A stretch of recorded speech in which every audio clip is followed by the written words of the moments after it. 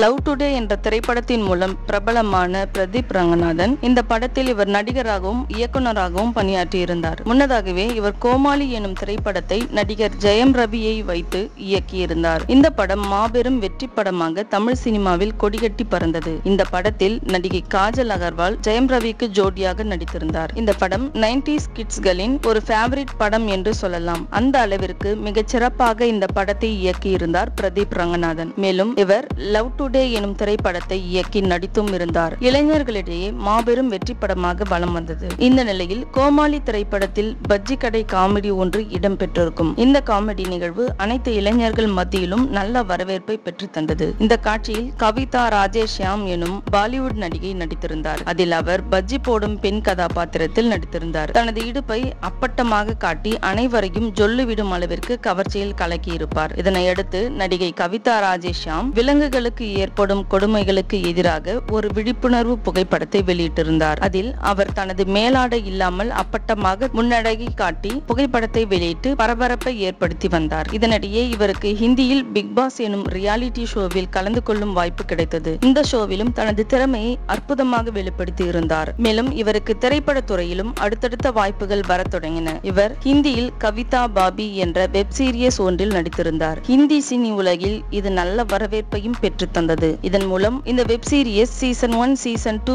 என்று அடுத்தடுத்து தொடர்கள் எடுக்கப்பட்டது. இந்த வெப் சீரியஸில் இவர் நிறைய முழுசாக ஆடையை துறந்த காட்சிகளில் நடித்து ரசிகர்களை பரவச நிலையில் ஆழ்த்தியுள்ளார். இந்த வீடியோ சமூக வலைதளங்களில் மிகவும் வேகமாக பரவி வருகிறது. தற்சமயம் இவரை நிறைய ரசிகர்கள் இன்ஸ்டாகிராமில் பின்தொடர்ந்து வருகிறார்கள். இவருக்கு நாளுக்கு நாள் ரசிகர்கள் அதிகரித்துக் கொண்டேதான் இருக்கிறார்கள்.